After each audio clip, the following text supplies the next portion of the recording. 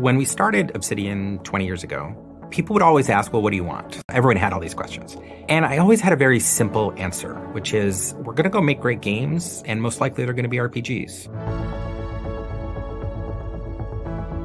At some point, we lost the Dungeons and Dragons license uh, during development of Baldur's Gate 3. It meant a lot of the, the sorts of games that we wanted to make, particularly like we see in the D&D universe, which is like the grandfather of tabletop role-playing games, uh, we couldn't do anymore. And that was really sort of, um, I think, the last straw. We were really having a hard time making games there. And so we kind of looked at the writing on the wall and said, okay, so if we want to keep on doing this, and in, you know, in particular, do it together, the only really way to do it was to leave Interplay and start our own company.